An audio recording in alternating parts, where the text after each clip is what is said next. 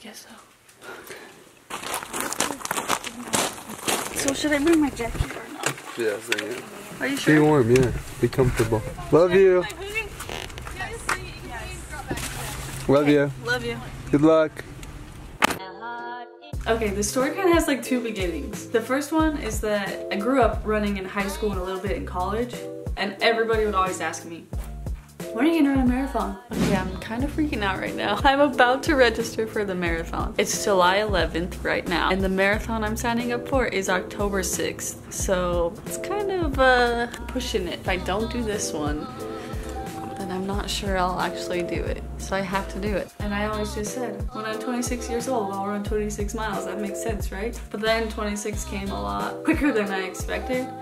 And so that's where the other beginning of the story starts is my friend Chelsea, hey Chelsea, was like, run a marathon, run a marathon with me. And I was like, oh, I don't think so. But I always said that I would do it. And so then I signed up. Turns out there's a lot more to running a marathon than just signing up for it. You have to like train. But luckily I had already been running a little bit, but I still didn't have enough time to get to where I needed to be. We're living in Kansas City for the summer, so I didn't have anyone to train with really. So I would just plug in my audiobooks and just run. The times that long runs were the best is when I could convince Jared to run with me. Kansas City got me on a six mile run today. I'm dying. She's trying to push the pace on me. No, he's making fun of me. No, I'm not. He's like, whoa, I'm dying. going so slow. He always made it like a lot more fun. This right here is the best view of her butt. What? So then comes the morning of the race.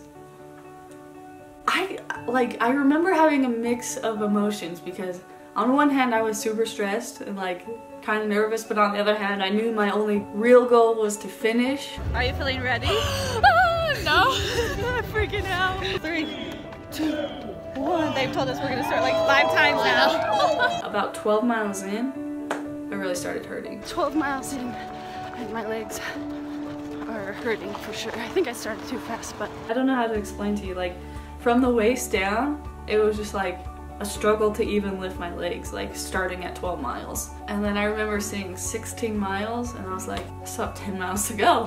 How am I supposed to do this? 10 miles still? That's nuts. I was like tearing up. I was like, how am I gonna do this? I got to this, like a medical tent thing. They, they have like oranges, water, Gatorade, everything you need. And I'm like, losing it and I'm talking to Jared. He's trying to be positive.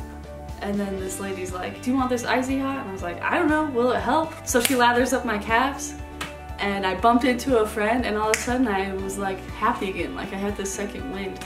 And I remember getting to this part of the marathon where you can look out and see this canyon. It was so pretty. Even though I still had, I don't know how much longer, but just looking out and seeing the view also gave me a little strength to finish, to keep going at least. Then I got to the last two miles and Jared and Corbin were there and hopped in with me, which was super fun. Yeah, Cassidy.